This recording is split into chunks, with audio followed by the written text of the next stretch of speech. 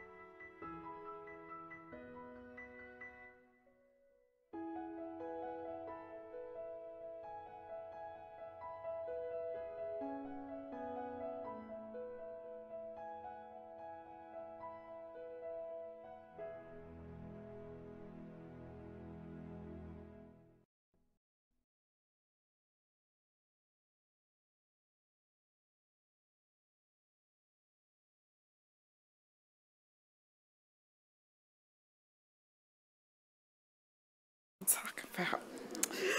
Hello, welcome to the beautiful Martin Luther King Jr. Memorial Library. I am so happy to see so many of your wonderful faces. And I, as an HU, as a Howard alum, I am just extremely excited to introduce you guys and welcome you guys here today. Um, if this isn't your first time here, welcome. If this is your return back, welcome back. Um, we would like to say a big thank you to WABJ for promoting this event. And we also would like to say a big welcome to our, one of our wonderful bookseller partners, Loyalty Books. Um, yay, let's. Wonderful black, queer owned book, local bookseller here in DC. Um, and I just want to say that um, the DC is a wonderful place for many reasons, but also because of its wonderful um, historically black university, Howard University. Um, it brings such a richness and such a value and brings so many great people to the city, and I think this book um, is definitely one that shares the value and then makes a good case for why we need to continue to support HBCUs. So um, I would introduce our guest, but that's to another lovely person. Speaking of loyalty books, I would like to introduce Hannah Oliver Depp, and she will introduce our guest for the evening. Thank you so much, and I hope to see you back here again soon.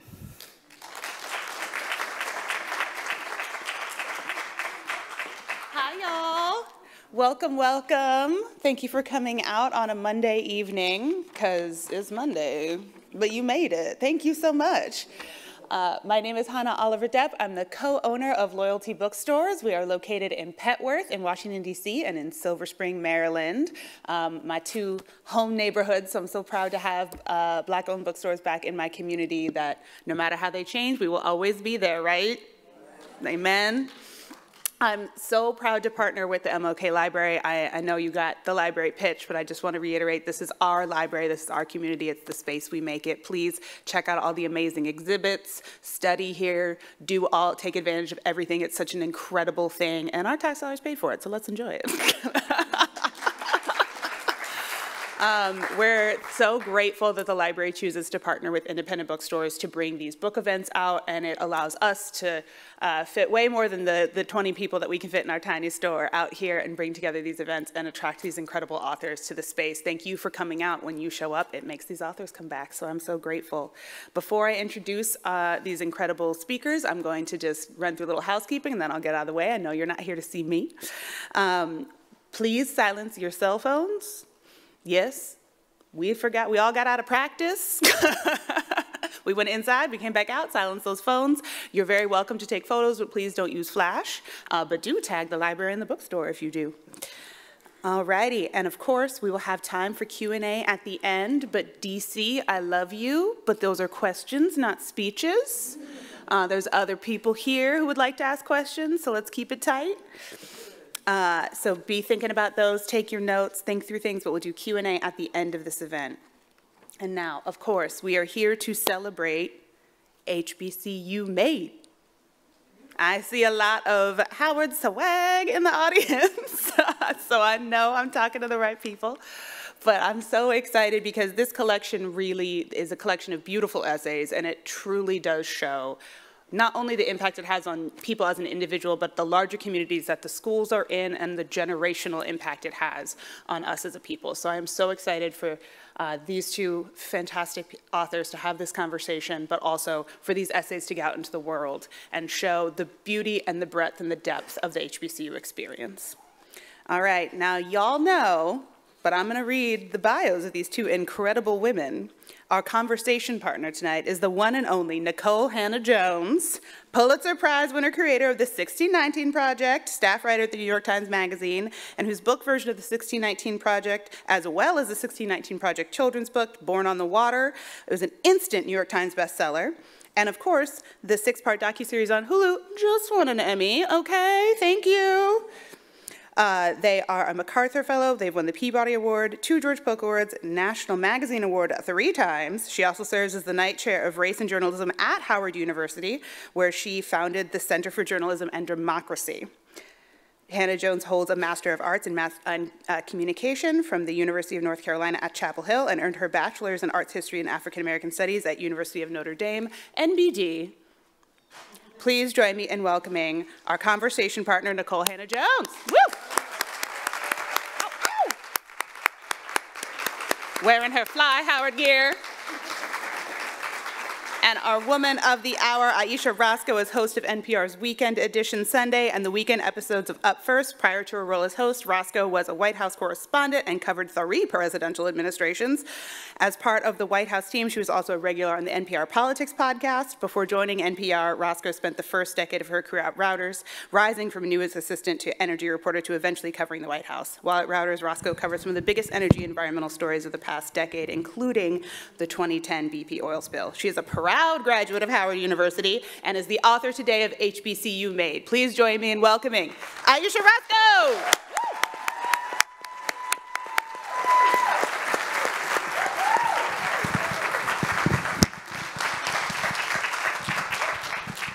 Okay, how y'all feeling? Yeah. I really thought I was going to see more HBCU gear here tonight. I'm a little disappointed. I, I see. I see, I see a little some. bit. I see some. It's just who, who do we have representing here? I definitely see HU. you know. Who else? Who else do we have? Spelman. Spelman. Spelman. Okay, Spelman. I'm an honorary Spelmanite. Where else? Yes.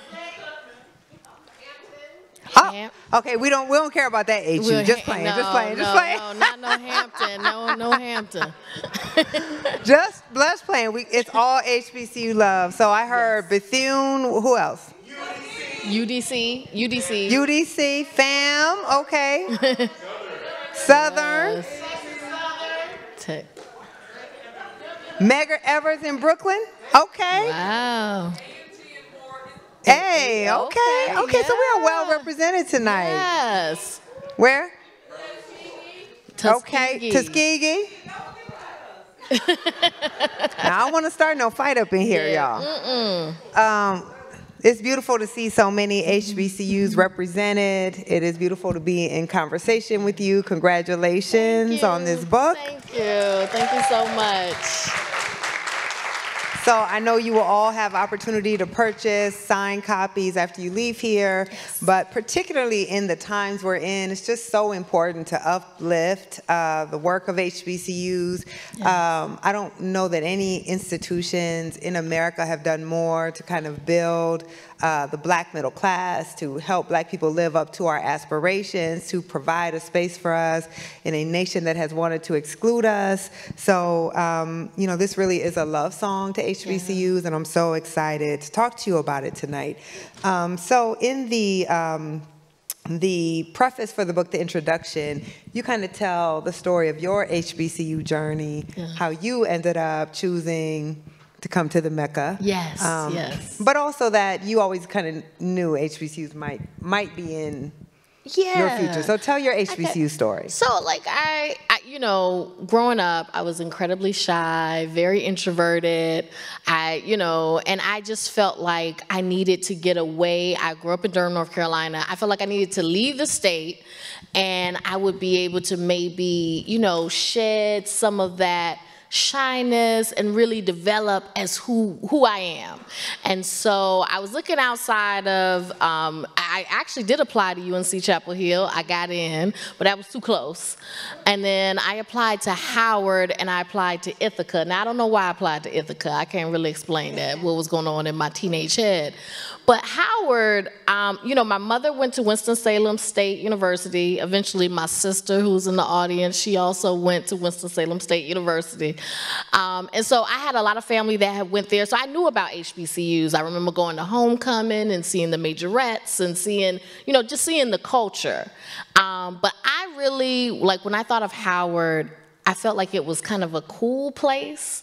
Like, to me, it was the place where I felt like I could have, um, you know, when you look at the people who've been there, whether it's Toni Morrison, whether it's Phylicia Rashad, whether it's Thurgood Marshall, like it just had an eliteness that I was like, I want to be a part of that. And then it also just seemed like it was in DC and it was cool, and I wasn't cool, and I wanted to be there and see if I could get some of that coolness. So that's how I ended up at Howard. So you talk about that you. Um, this this actually was kind of a tender moment reading your introduction. You said you didn't really have friends Mm. No. in high school, which I was like, that's brave to admit. don't, that might have been true, but I wouldn't have put it in the book. You wouldn't have put it in. People and people have been like, "Is that really true?" I was like, "No, it was just me and Jesus. That's that's all I had. Like, I didn't I didn't have friends like that, not outside of school. So I was very lonely, right? And so when my family thought of me going to D.C., which was like the big city, and going to this school, they were just like, "Can you really make it?" And they also felt like I didn't have no street sense, which I didn't. And you know, I'm very sheltered, country girl. Like, are you going to be able to make it in the big city of DC, rough and tumble area? Um, can you survive? And I didn't know either. Like, I thought, like, to me, I really was a questioning, like, would I survive? like, would I live through four years? But when I got to Howard, it didn't happen overnight. I was still scared to death. But over time, I think part of what I got is that I could survive, right? Like I was a lot stronger than I thought I was. It's funny because so I lived in Durham for almost six years. Okay. Um, I lived there when I went to graduate school. Then I worked at the News and Observer and covered Durham, Durham Public Schools. And Durham is not. I mean. Oh, well, you know, Durham is Durham rough. Yeah, yeah, no, no, too. no. Durham is rough now. You know, I grew up in Durham, but I have a lot of family in Oxford, so they would always be like, "We're not going to Durham. It's too rough over there." you know? So yeah, no, it was rough, but it wasn't anything compared to D.C. and the Shaw neighborhood. And that moment was very different than the Shaw neighborhood that you see right now. So at that point, it was a very different type of environment. And yet, Howard was this oasis, right? I mean, when you when you when you think about the number of luminaries that came out of an institution like Howard, but also just HBCUs in general, um, I imagine that is part of what led you to want to write this book. So why don't you talk about, you know, it's called HBCU Made. It's a collection of essays by uh, people uh, across various professions who went to an HBCU um, and and the impact that the HBCUs had on them. So what made you want to write this book? Well, you know, Algonquin, the publisher of the book, came to me and they were like, Would you want to pull together this collection? First of all, I was shocked that this didn't already exist. Like when they said that no major publishing company had the stories of HBCU graduates in their own words talking about the importance of these institutions. So when they said they, that didn't exist, I was like, well, this long overdue. Like this should have been done long ago. Um, I said, let me think about it, because I had just started at Weekend Edition, and I was like, ah, you know, I got a lot going on. Um, I got these three kids, I got a lot happening in my life. Um, but I thought about it for a month, and then I was like, you know, I gotta do this because I thought about how Howard had impacted my life and how it had really set me on a course. And then I thought about like all of these people from all of these different generations and different career paths and like how all of these people had gotten their start at HBCUs and how the world is better for it. And I wanted this book to be that love song, that love letter to HBCUs to say HBCUs have made the world a better place and continue to make the world a better place. And so that's what I wanted this book to be. So can you tell me a bit about how did you select the essayists in the book? And there's a wide range, you know, Roy Wood, a comedian, Yes, you yeah. have writers, you have uh, Stacey Abrams. So how did you pick um, who you wanted to be in the book? I a, I wanted there to be like a wide range of perspectives. So I wanted people from different generations. So some people that are maybe a little more seasoned, and then I wanted some of the younger people. The youngest person in the book, Brandon Gilpin, is an actor. He graduated from Morehouse in 2021. Um, so he's the youngest person in the book. I also, it was really important from the very beginning that I didn't just want the Howards and the Morehouses and the Spelmans, like, because there are 100 HBCUs in this country, and a lot of them do not have the name recognition, they don't get the attention, they're not necessarily getting the donations. So I wanted to make sure that we had the Dillards and the Talladegas, and, you know, even so, like some of those schools that don't get all the, the name recognition. Um, and so I wanted, that was very important to me. And I wanted people who had come from, you know, some first generation college students, some who had grown up on the college campus. It was also really important to me to have the perspective of an LGBTQ person to talk about that experience on a HBCU campus. And so I wanted a wide range. So I want to talk about some of the, the essays and, and some of the themes that get tackled in the essays. So, um, in Roy Wood Jr.'s, he went to FAM, and he talks about how, um, so he engaged in some slight credit card fraud. Yeah.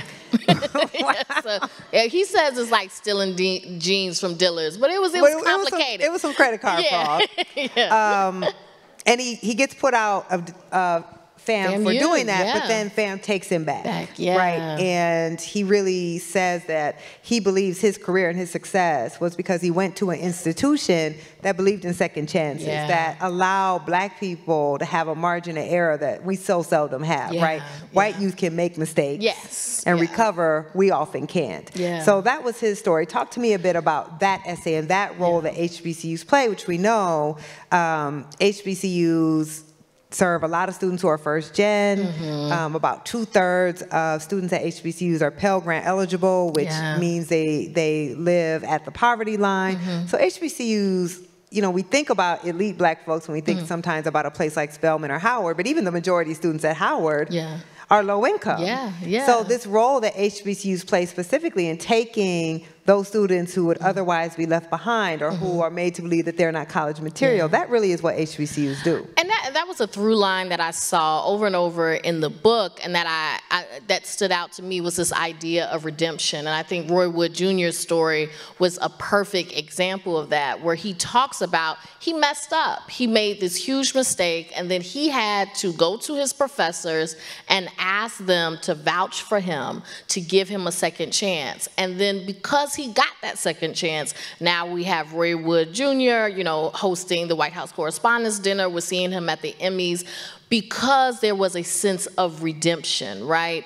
And then we also have some, you know, lesser known names in the book, but, you know, that talk about Marquise Brown. He's a digital marketer, and he talks about how, you know, when he got into Hampton, you know, he got in, but he was, he had to take classes because his scores had been too low. So he, you know, had kind of messed up in high school, had had some professors, uh, some high school teachers who didn't believe in him. And when he got to Hampton, he says he had a black male mathematician as his tutor. And that seeing that black male mathematician in that position meant so much to him. And it also gave him space to feel like he wasn't being looked down upon, he wasn't being looked at as inferior, but he could learn and then he ends up graduating from Hampton with honors. So HBCUs absolutely give a chance to, as you said, to people who would have fallen through the cracks. And then we see the benefits from giving those chances to give people an education. Yeah, I think I think that's such an important point. I was arguing on Twitter with someone, which I occasionally do. You uh, just a little bit. Every once in a while. Um, and someone said HBCUs are where black students go if they can't get any in anywhere else. Mm, mm, mm, mm, and one that told me a lot about the type of person who needs to believe that. Yes. Right? Yeah. Because you can't possibly believe one would choose a black institution. Mm-hmm. Um, but I also said that's actually not a bad thing. Mm. Right? Mm. That there are so many students who are deserving yeah. of an opportunity yeah. to achieve higher ed. And if you weren't a stellar academic student mm-hmm. um, in high school, we shouldn't write you off. And that's what HBCUs really do. Yeah. One of my first stories for the New York Times Magazine was about Xavier University in uh, New Orleans and how they send more undergraduates to become black doctors in any other institution, often tied with Spelman and Howard. Yeah. But all of these vaunted white institutions are not sending as many black students on to become doctors as a handful of HBCUs. Yeah. And I profiled this doctor out of Chicago um, who was a brilliant student but went to a high school that didn't even have a chemistry mm. or physics class. Mm-hmm. He graduated without ever having been exposed even to the periodic table. Mm. And yet he wants to be a doctor. So if he goes to a white school, he doesn't become a doctor. Yeah.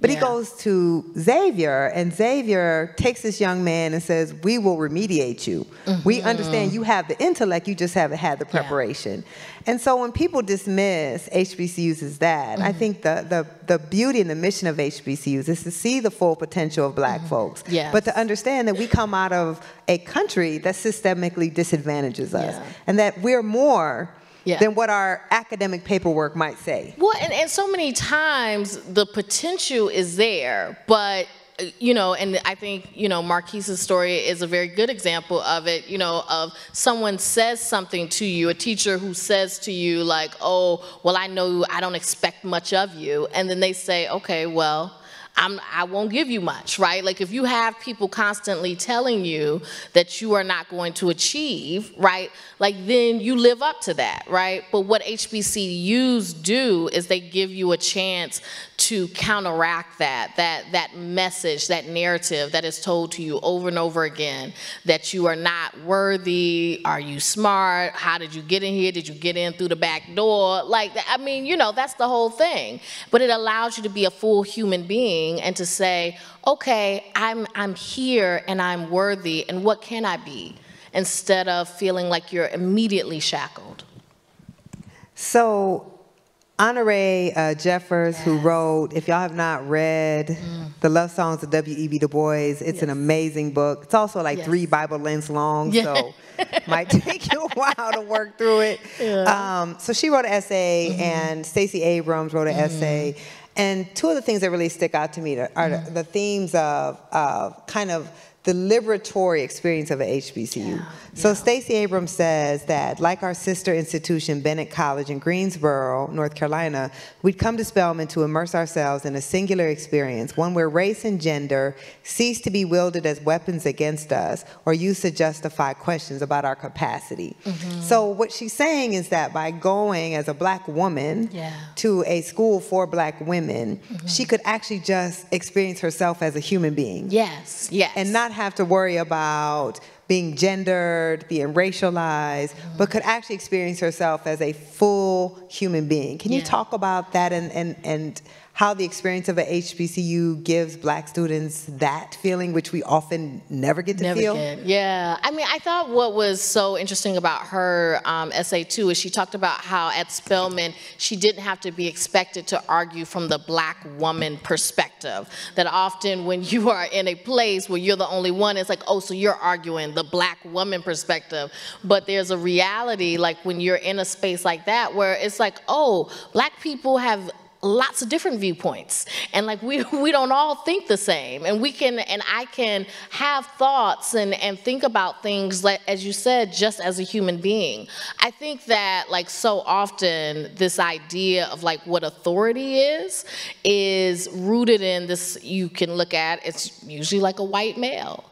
But at an HBCU you can see all of these scholars and all of it I mean you can see you know uh, a Nikole Hannah Jones right and you can see people who look like you standing up teaching you and then you go I can be an authority too. I can be an authority the way I sound, with my accent, in my blackness, with my braids, with my locks.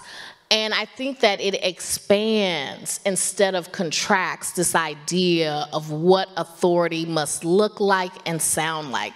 And it doesn't seem surprising to you the way it is when you're out in the world that, oh, you know things. Oh, you're worthy to be listened to.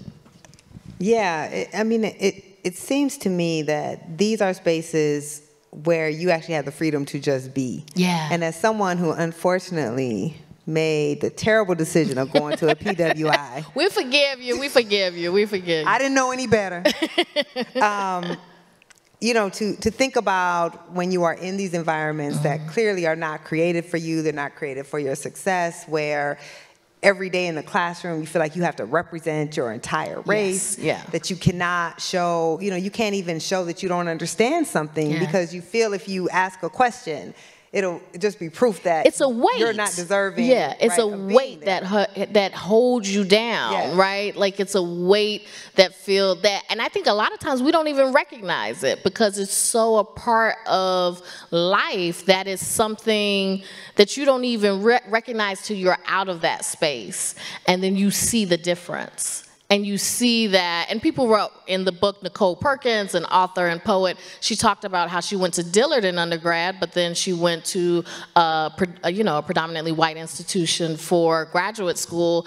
And it was, you know, when she was in these, these classes, she was getting questioned, like, how do you know this? And she would be the only person being asked, like, how did you come up with this answer? You know, like, the, she says that she didn't have, at Dillard, it wasn't that she wasn't challenged, but she didn't have to just justify her ability to think.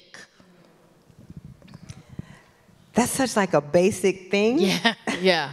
But to be black in America, that is a rare thing. Um, and, and I think a lot about, you know, I know when I was coming up, you would hear folks say, well, don't go to a HBCU because that's not the real world. Yeah, yeah, yeah. And I used to think, well, we're going to be in the real world our whole lives. so can we get four years, right, of, Yeah. of, of getting that armor to go out into the mm-hmm. world of, of professors who pour into you, who have no Yeah. doubt about your capabilities, of mm-hmm. classmates. You know, when you're at Howard, I, I sit in my office in the undergraduate library and I'm like, oh, everybody's studying, you know, for the chemistry course. They're all mm. black. Yeah. Everybody on the chess team, they're black. Every, mm-hmm. Right? It's like every whole experience you want to have, you're not the only one. Yeah. Um, talk about what that experience is like for a black woman trying to find herself in America.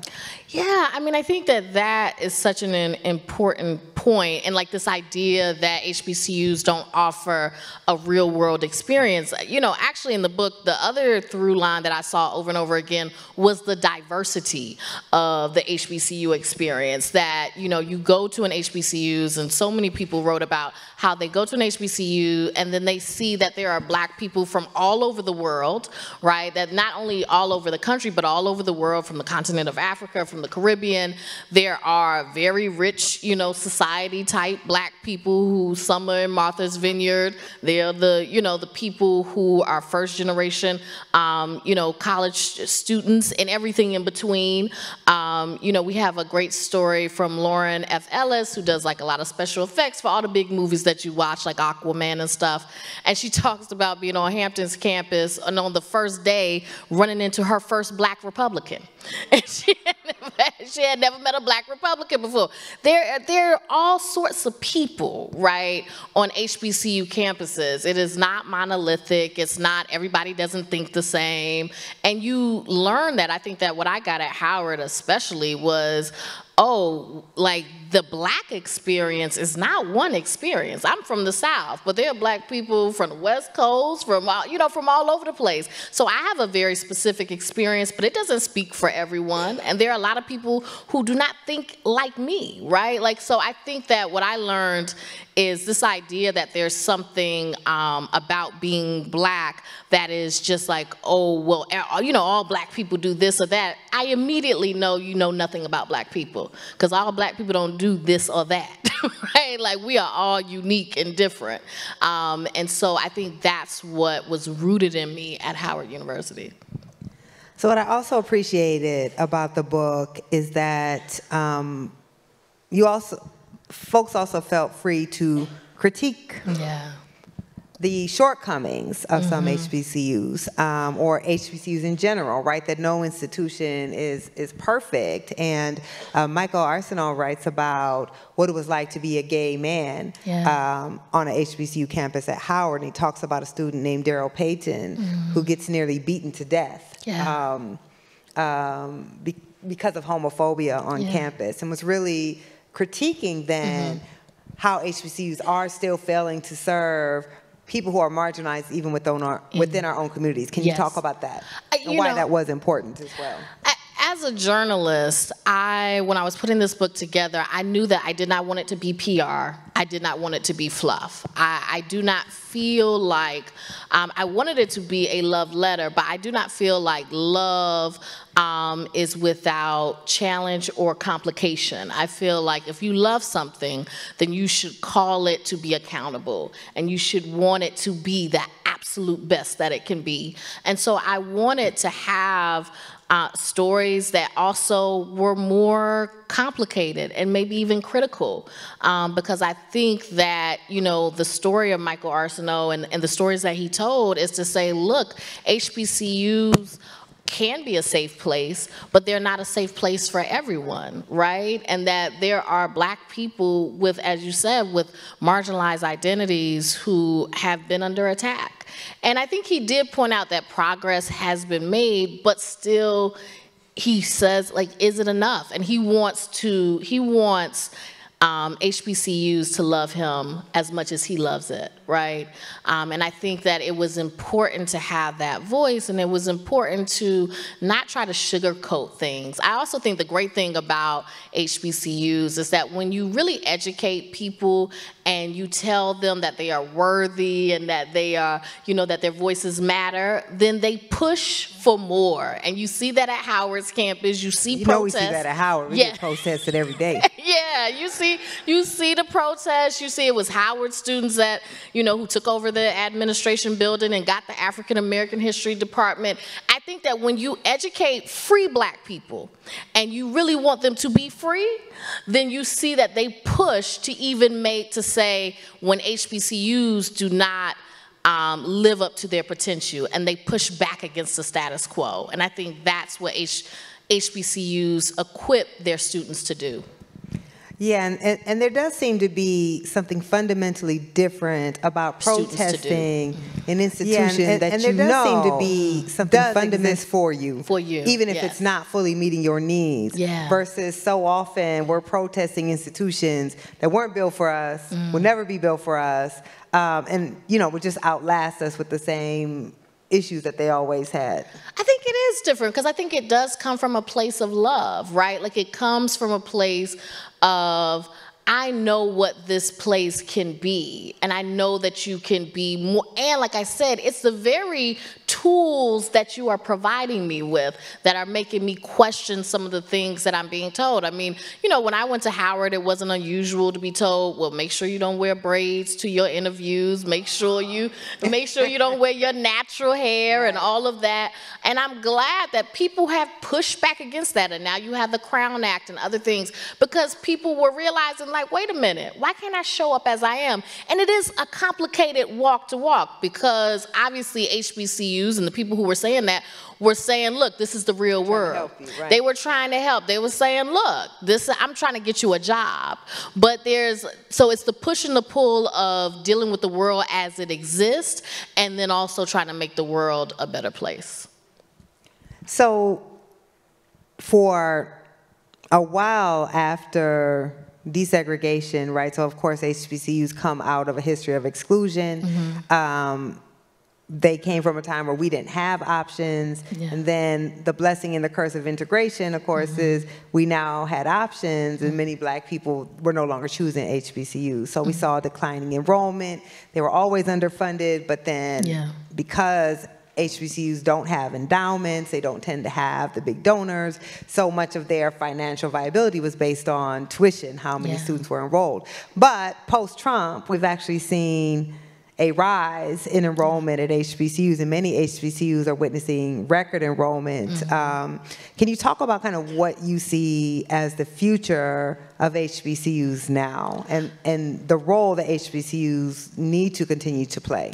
I think there's I think there are a number of things at play here. I think you can look at, you know, po- post George Floyd in 2020 and the the conversations that were going on around that time and and before and after then about supporting the institutions that are actually made for black people and the question of well why are we sending our students or sending our athletes to these predominantly white schools and not sending them to these schools that are made for black people. I think there's also, I mean, I love Beyonce. I think Beachella had something to do with it. You know, I, that's just me. I don't have no empirical evidence of it, but I think it has something to do with it.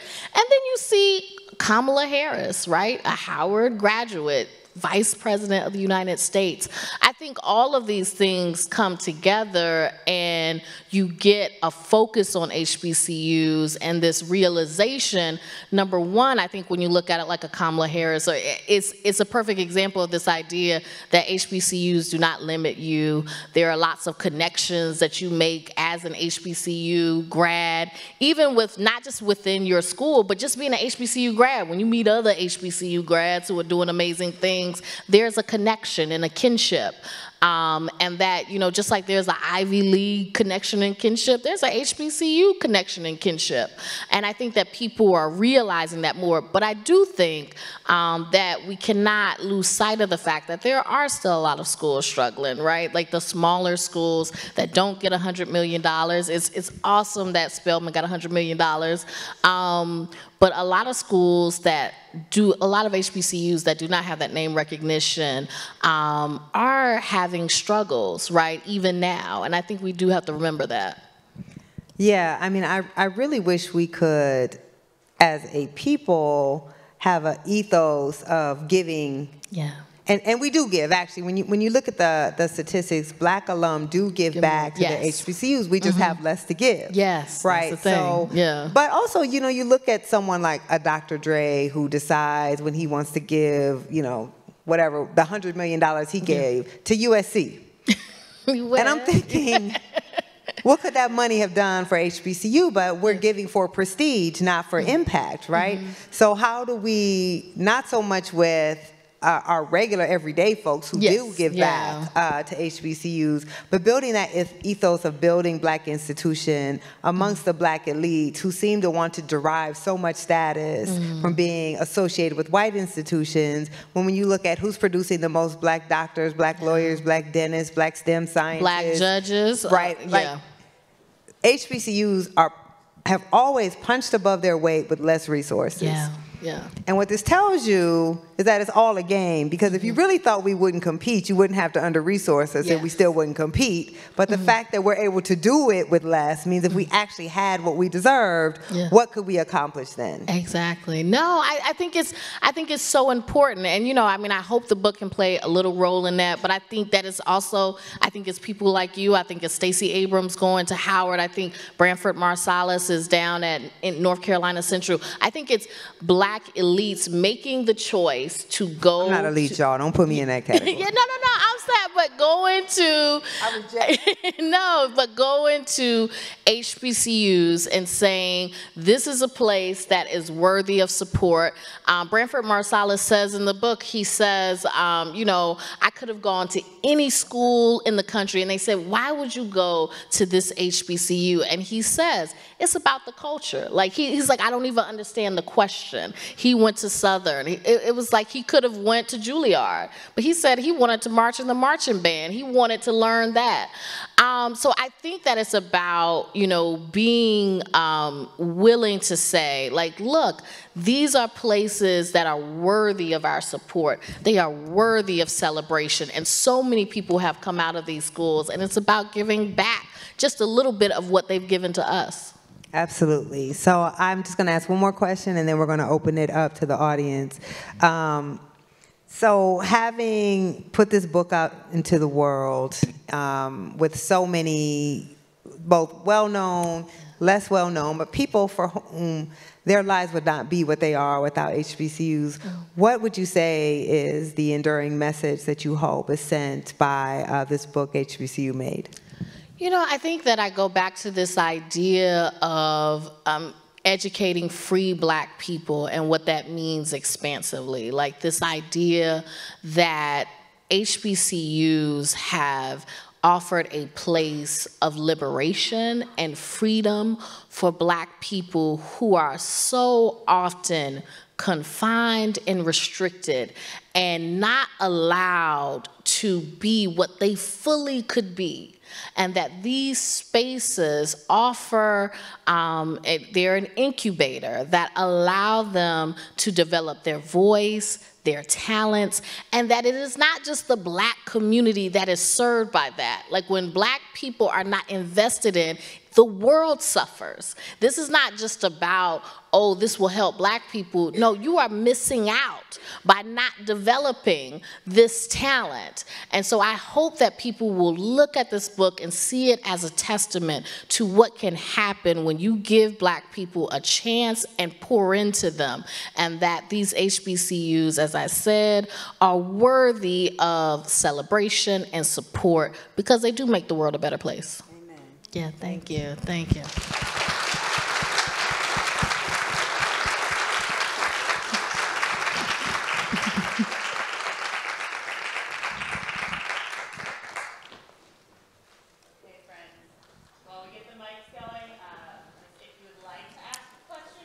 hand and our amazing, oop, I gotta stop projecting so loud, the mic's on. Uh, Our fantastic friends of the library here are going to bring mics around. And I I'm told if you don't ask a question, they will cut your microphone off. Though. That's what I heard. I mean, I'm harsh, Yes. y'all, I'm not gonna lie. I know we're not shy here. I know. I've never, I know there gotta be some questions. What? oh, this is, oh, Oh, okay, there we there's go. I one. love you, Yeah, we girl. Started up. Yeah. Hello, and thank you so much. I appreciated you all's talk today. Um, I wanted to speak about the culture of giving at HBCUs. Um, we spoke about how we don't have the same type of pockets, I guess, to um, endow our institutions as uh, predominantly white schools. How do you propose that we can create that shift, especially when some of our HBCUs have encountered um, situations in which leadership may not have been as transparent as necessary um, to, I guess, foster that type of trust to want to um, give our coins to um, our institutions. You know, I think I don't I don't have the perfect answer to that. I mean, I would say that it's that HBCUs, like any other institution, can have financial issues, issues with how the money is being dealt with, and things like that. Um, and some, you know, would probably argue that they get um, more attention than other institutions who probably have the same issues.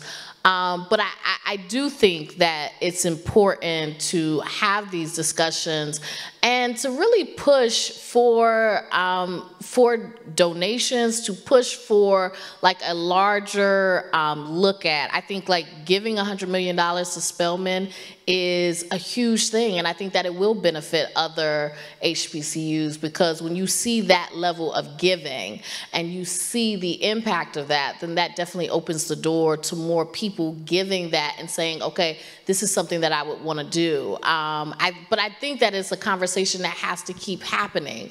Um, and I think that as far as like whether the institutions can live up to the money, I think first, you know, first give them the money first and see what happens. You know, like they they haven't even been given a chance most of the time. Give them the money first and see what happens. Um, and and and then I think you can hold people account if the money is not spent well. So we've got one here and one here. Let's start with you, sir. Yeah. Thanks. Thank you. Good evening. My name is Raphael. Love hearing you on the radio. It's Thank the you. best part of the week. Oh. But um, I'm a teacher here in DC. I'm also a Howard alum. Mm. So I've been teaching my students about HBCUs and why they're important and incorporating it with math. I was talking about the marching band and such. Mm. I bring all that together to say, with this book, who is your initial audience, right? So in my classroom, for the schools that I taught here in DC, I always talk about HBCUs. I talk about the importance of that, right? And I try my hardest to bring them to Howard and just expose them to other HBCUs, students that are black and non-black, right? Um, so with this book, who is your audience? Well, I mean, so I think that obviously, like I would say, my audience first is everyone, but I think obviously there's uh, an audience in high schoolers, people who are looking at what they want, uh, where they want to go to school. Like, I, I think this book is written in very plain language, and it's really people telling their individual stories. And so I wanted it to be very accessible. It's not a research tome or anything like that. It is people telling their stories that are very relatable about why they decided to go to an HBCU, why it made a difference in their life. And so I think for a student, I would have loved to have a book like this, and it would have maybe made me a little less scared, you know, when I was going to Howard, to see that there were people like me, there were people who were scared, there were people who were nervous, there were people who, you know, were just going, who were just living life uh, from different experiences. And so I think that this book definitely has an audience in, you know, those students who are, you know, rising up and deciding what school they want to go to. And so absolutely, I do think that it is a broader audience because these are very human stories. It's about institutions, but these institutions are made up of human beings. And so really what these stories are is about people coming to their own and figuring out who they are. And I think that's a universal story. Mm-hmm. Mm-hmm. Hello. Gratitude for you being here and your presence and this book. I have my 10-year-old Sunshine here with me, and uh, he was recently having a conversation with his parents, and he said he's interested in Howard University specifically because he knows that it is one of the most expensive HBCUs, and expense, expense equals that it must be good. How do we counter some of those things? Because you do mention namesake. Um, and you do mention name recognition. How do we start to look at the other, say, 95 institutions that exist beyond the ones that we consistently speak about so that we can talk to our youth to make um, just more informed decisions? And I'm asking this as an educator who's been in higher education for over 20 years, so I know what I would say. Yeah. I want to hear it from Mama. what would you say? Yeah, I mean, look, I, I, you know, obviously higher education in this country is extremely expensive, and you know, when you have private universities uh, like Howard University, um, uh, the cost can be quite high. I think the thing about it is there are a lot of state schools um, and state HBCUs um, that are less expensive. There are a lot. I think that part of you know what I wanted to do with this book, you know, as I said, is that even though I love Howard and to me it is the place to be. And look, you can get scholarships. Tell your son, I, you know, I went on a full ride. You can get scholarships, but I I understand that people need a lot more options than just Howard and the the, the biggest schools, and especially money matters, right? Um, but you can get a good education going to a smaller HBCU, and there are a lot of people who have gone to smaller HBCUs and have done incredible things. Um, and I think pointing that out and letting letting people know that um, is important because I do think that if you really want HBCUs to thrive, you can't just focus on one or two of them. I think we've got a question down here, and, yeah. Hi, um, my name is Taylor. I'm a junior at Duke Ellington, and I major in museum studies. And I guess my question would just be like when I'm talking to curators and art historians who are black, they say how hard it was to get into a male white dominated field coming from an HBCU.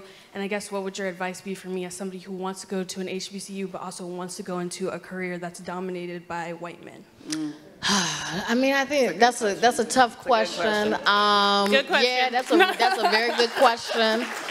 Um, you know, I, and I don't want to sugarcoat it. I mean, I think that oftentimes a lot of careers that we go into are going to be dominated by white men. Um, and I do think the fact that you're talking to black curators who went to HBCUs tells you that there is a path even if it is more difficult. Um, and so I, I, I would say that sometimes like going the the path that is less straight can still offer you so many opportunities. Um, and like I said, I don't want to sugarcoat it and make it seem like everything's just great. Um, but you know, going to Howard University, that's how I got introduced to Reuters, which was you know a newswire, which you know had has a lot of white people there. Let's just be real, you know. But I got, but they oftentimes, you know, these, ins, you know, these institutions are looking to diversify, so they partner with HBCUs because they're looking for talent. And you know, there was a class, Reuters partnered with Howard for a class, and that's how they um, saw my work. Like I did not qualify to go to the Reuters internship. Everybody else there had interned at the Wall Street Journal. I had interned at the Winston-Salem Journal. And so I, you know, but they saw my actual work and they knew that I could do it, right? So it wasn't a matter of my ability, it was just a matter of like access. Um, and so I wouldn't be discouraged. Like if it's really important to you to go to an HBCU, I really believe your talent will make space for you. Like, I'm not saying that it'll be easy, but I do believe that you can find a path for yourself. Yeah. Oh, yeah. We got a question down here, and we got questions over there. Hi. are Hi. Um, your response to one of the questions was like you begin to find yourself at a HBCU, and I wanted to know what you found out about yourself. Ooh, that's a good question. I was. Me and my friend Kari, we were journalism majors at Howard. Okay. Okay. Yes. yes. Um, that's a good question. I think what I found out about myself, I found out a lot of things. Um, you know, when I went to Howard, like I said, I was very shy, very soft spoken, very timid. It did not change overnight. Um, but I did find that I was more resourceful than I thought I was. I was scared, but I would do it scared. So I would do the work scared. I was scared to go up to people. I was I didn't like, you know, people being mad at what I was reporting, but I kept doing it. And so what I learned about myself is that even though I'm scared to death, there's a part of me that's like, I'm not gonna stop. You're not gonna tell me that I can't do this. I'm gonna show you. Like, give me the opportunity. Give me the ball. I'm gonna do it. Um, and so that's what I learned. I, like, I always say, and what I've said in this journey of doing the book, is that the seeds were planted. They didn't sprout there, but I think that the person that you see now, the seeds were planted at Howard University, and now you see the fruit of it. But it was it wasn't something that happened overnight, um, and it it also showed me um, that there's just a greater context to the world that we live in. And so that, you know, when people are attacking me because like the way I talk, I don't sound like everybody else, and I got an accent and this and why you pronounce your words this way, I can say like, you know, that's not really about me. Like this is a large, you're not really responding to me. You're just responding to the fact I don't sound how you think I should sound. And it really doesn't have anything to do with me. And that was definitely something that I got at Howard University. Okay. Get, yeah, there and then there. Good evening. Thank you for sharing. Could you talk about stories that did not make it in this book? Oh my goodness. So I think like so I think you know the stories that made it in the book most, I mean, I think most of the stories made it in the book. I mean, we did have to cut some things for for time, you know, for space. But usually, it's actually kind of hard to get people to write like four thousand words. So sometimes, usually, we were asking for more. Give us more. Give us more. I think for me, um, I probably could have talked all day about um, working at the Hilltop, the student newspaper at Howard University. So we did have to cut some of that out because they were like, look, this is this is about your journalism experience. We need to focus more on HBCUs. Um, but yeah, like I think that like we really tried to get people to drill in on a lot of times on like the pivotal moment, right? Like, or or like a pivotal part of the HBCU experience. Um, and so that's what we really try to, to get people to narrow down on. Mm. Hello? Hi, I think I wasn't sure if it was on. So I'm wondering if in your research and in writing this and gathering the stories, if you were able to find out about sorting and mating, since there's so many connections at HBCUs, and if it's easier for people to mate there, and if that would give people more um, in terms of also donating back to the schools and to the HBCU system. You mean what do you you mean like people coupling up and stuff? Yeah, marriages. Okay, marriages. People Yeah, did talk about. Okay, I was trying to. Make, I was like, what? That's an I was academic like, term. Oh, okay. no, well, you know, a lot of the the kid, a lot of the people in the book, um, Roy Wood Jr. is a, a, an example of this. His parents met at FAMU, um, and that's how Roy Wood Jr. came into the world. And so I, you know, and there are a lot of stories about that. And Nichole Perkins' um, essay also touches on this idea of, and you know, so does Leoneda Inges, who she's a, a public radio um, host. She talks about, you know, all the the the marriages and the the connections that come from that, and how, and and her essay is really a great example of generations. Her father went to um, FAMU, and I believe her mother did as well. And so she really has generations, um, and you know her uncles and this, and so this idea of like it really being a family thing, right? Like you have your kids, and then your kids' kids. I mean, I think that's definitely a part of the experience, and and you get that delved into in the book. You know, I mean, I think it works for some people, right? So I, I think it's it's an important part of the story. All right, y'all, got to save the rest of your questions for our signing line.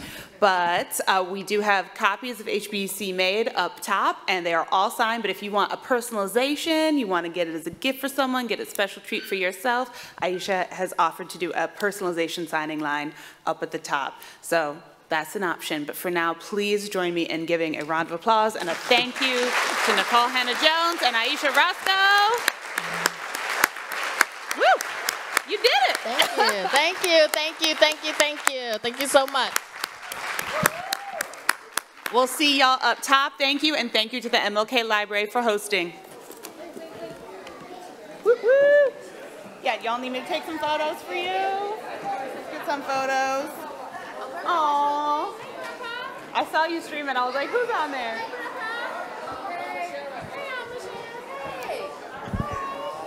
Okay,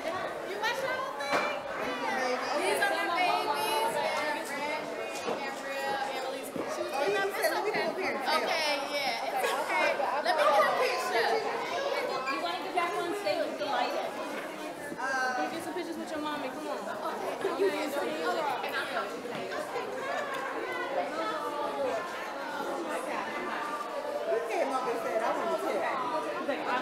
She was getting up. I'm still in the seat. I'm done. You guys want to get a picture on stage?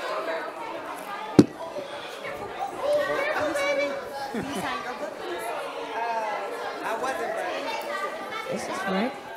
Does this work? Thank you. Oh, you got a sharpie. Careful, people see.